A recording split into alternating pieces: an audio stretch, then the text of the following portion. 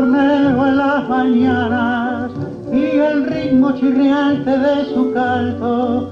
Para ella era igual como una diana no bien el claro sol asomaba por los campos. Le enseñó la calandria un la torcasa ser buena y generosa y soñó con un mundo de esperanza sin fin porque miraba volar las mariposas